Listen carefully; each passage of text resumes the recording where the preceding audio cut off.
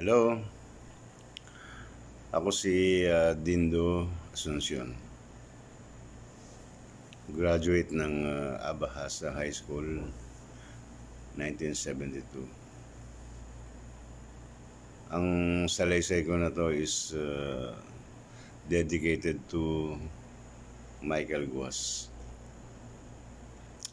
Kasi itong si Michael, alam mo, alam natin lahat na itong classmate natin na to is a good person. One of our uh, model uh, student.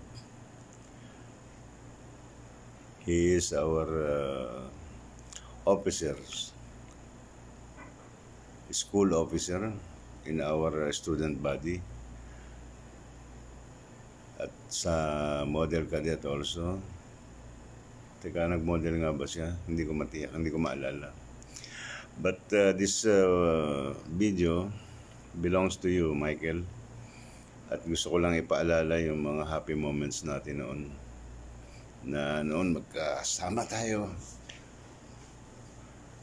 Kasi noon, isa sa naalala ko, noong uh,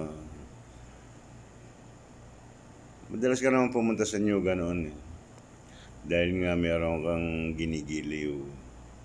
Hindi ko na lang babanggitin para baka magkaroon pa ng issue kung sino. But alam mo yun, alam din ng iba nating classmate yung tungkol doon. Doon sa likod bahay namin, meron pala isdaan. Yung pala isdaan na yun belongs to our uncle. Na in some occasion, pwedeng mamingwit. At meron naman tayong uh, permit o meron tayong paalam doon sa may-ari na pwede tayong mamingwit doon. And that time, nagdala ka ng ano, isang uh, fishing rod na yung fiberglass, yung professional na ano na fishing rod which is two pieces na pwede mo isuksok ganun para ma-extend mo ng mahaba. Sa tanang buhay ko, alam mo, Mike noon lang ako nakakita noon nung ay noon lang ako nakahipo. Although nakakita na ako sa mga pictures ng mga panahon na yon.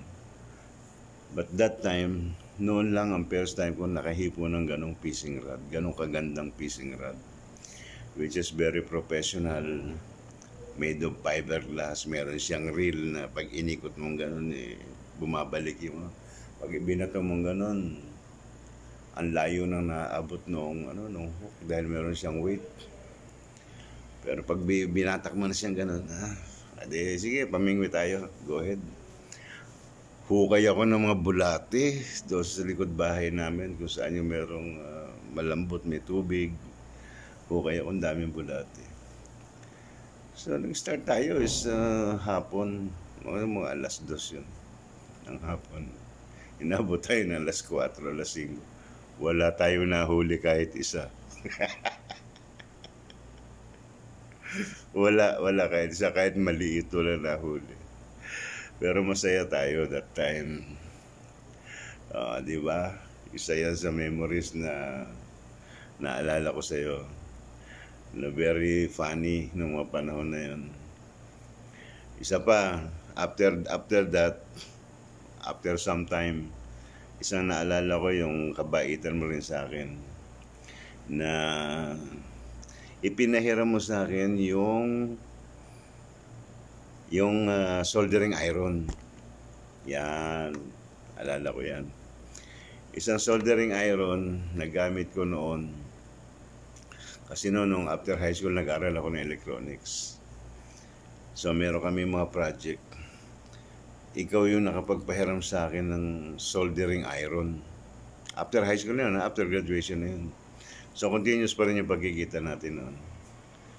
Pinagamit mo sa akin yun for such a long time. Na nung sinoli ko na sa iyo yun, or uh, tama, during the time na sinoli ko na sa iyo, lumang-luma na siya, pero buo pa naman, nagagamit pa rin. Kaya nang lumang-luma na siya parang dinaanan na siya ng bagyo. yan, utang na loob ko sa iyo. And uh, one more thing, nung high school pa tayo, ito, papaalala ko rin sa iyo. Sana nadidinig mo ako. Eh. Para sa ganun eh, matatawa ka rin sa mga ano sa mga kinukwento ko. Naalala mo nung ano nung nag mm, nag field day tayo sa Caloocan High. Yan. Field day. Ang hindi ko maalala kung third year tayo o fourth year that time. Lumaban tayo ng field day doon sa Caloocan High School doon sa football field. Ang uniform natin is uh, green, ito, green uh, t-shirt. Ano, green short and puting t-shirt. Yata, parang ganun.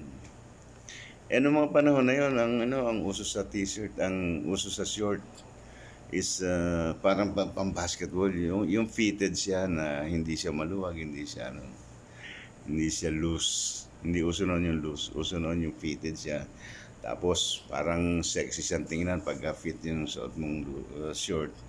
Tapos half, halfway sa hita yon Halfway, hindi yun hanggang tuhod, hindi yun hanggang singit, kundi halfway pataas mula sa tuhod, halfway ng hita. So, ganun kaganda yung uniform natin doon sa paglaban sa field day. Ngayon, babanggitin ko na lang itong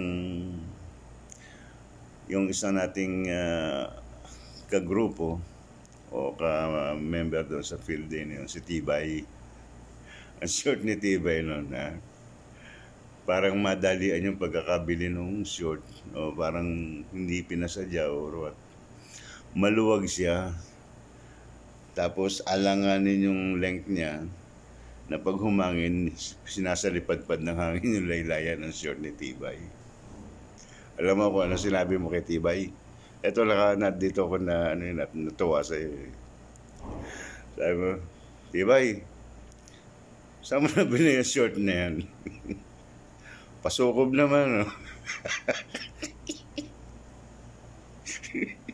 Sama ng tingin sa ni Tibay. Sama ng tingin sa iyo. Paulit-ulit. Tibay, pasukob naman dyan sa short mo.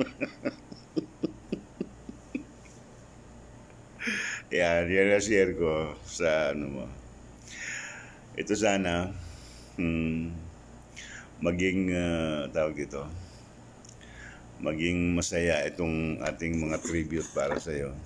Ito maisi-share ko para sa ano, sa memories na pinagdaanan natin. Actually, meron pang isang memory. Kaya lang ano yun eh, ayoko nang banggitin. Ayoko nang banggitin yun. Dahil tayong dalawa lang ang makakaunawa nun eh. Sila hindi nila mauunawaan yun. But so far, uh, tayong dalawa lang nagkakaintindihan doon. Bagay meron na tayong pinag-usapan before that nung sometime nitong mga lately, late moments, nagsettle na tayo tungkol dun sa bagay na yun. And that was all over na.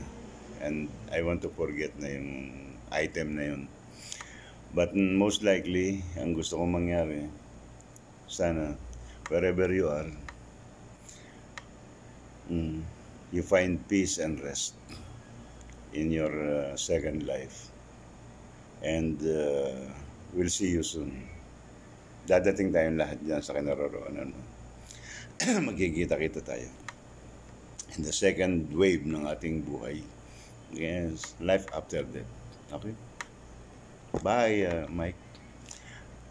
I love you. And uh, masaya ako na naging Michael ka sa buhay namin. Thank you. Bye.